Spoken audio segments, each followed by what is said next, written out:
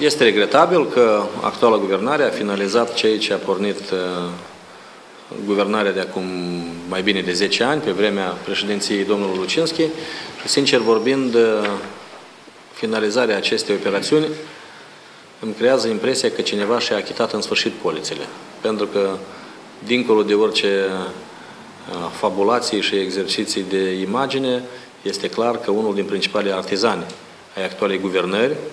este domnul Petru Lucinski și atunci trebuie să căutăm și contribuția lui la finalizarea acestui act, regretabil,